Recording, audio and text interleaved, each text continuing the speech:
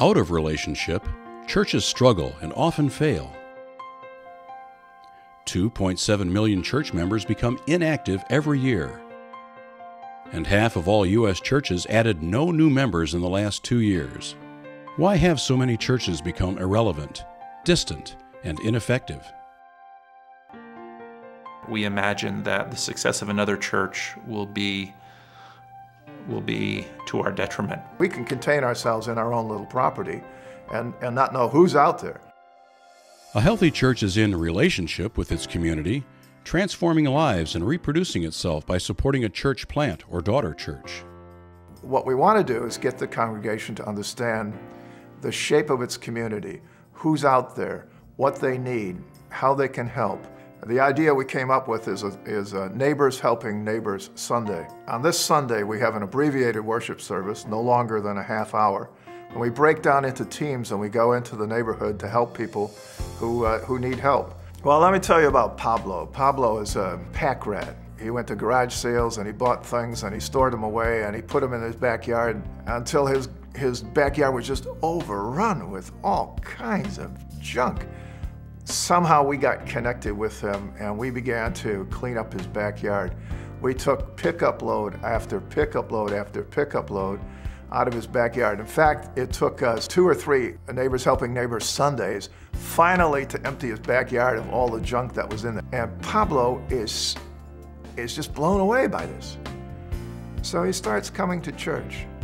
Um, and then he comes back, and then he comes back. But he's introdu being introduced to Christian people, and he's being introduced through them to the Lord Jesus Christ. And we're very hopeful, we're very hopeful that the Lord will open his heart and uh, and convince him to become a Christian.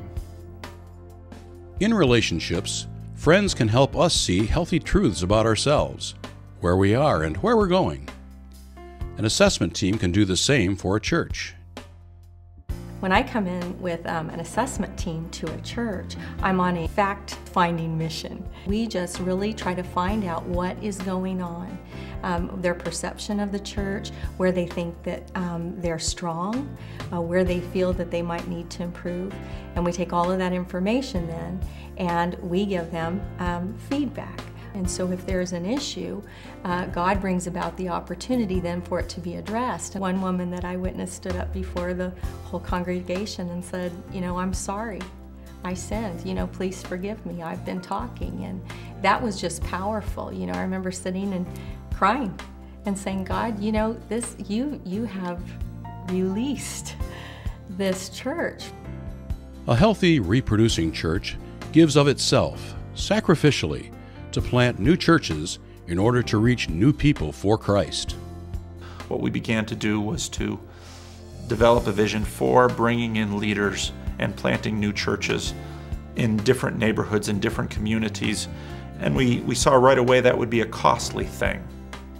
And we didn't have buckets of money or a lot of resources, but bit by bit, my congregation was generous with themselves. We would give family or two to different church plants. We would host interns and residents to give new church planters an opportunity to acclimate. We would bless them as they went out and very much believe that their success was our success and they would leave a, leg a legacy in the city in a way that we could not.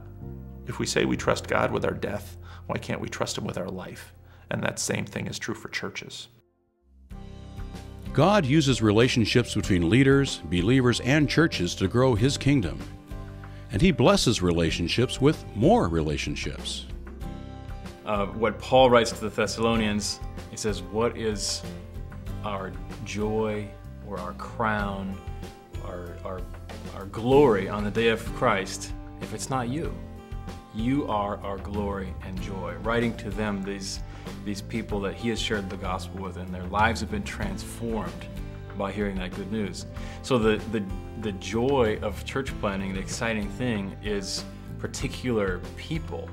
So I think of three young guys, Chad and Jeff and Anthony, and uh, doing Bible study just with the three of them, and they were all telling me about the, the thrill of tagging and graffiti and it's not just putting their name on a wall, it's the whole lifestyle. And they were saying being a Christian is boring. And it, we, so we looked at something from the life of the Apostle Paul about all his shipwrecks and being beaten and all this kind of stuff. They said, okay, well, that's not boring. Not necessarily all good or not something I want, but it's not boring. And then just a few days later, all three guys came up to me and they said, There's a, a, playground that's on this church property that we rent, but there's this little playground that's all kind of run down. And they said, We'd like to paint that. So they were saying they wanted to use their spray painting skills to do something good. And that quick of a transformation was really surprising. And now, then, uh, we talked about what it means to be baptized, and all three of them said, Yeah, I think I'm ready to be baptized. I know what it means. I want to die to my sin and come alive in Christ. Please pray that many more will become a part of relationships that God is using to develop and bless synergistic leaders, contagious believers, and healthy, reproducing churches.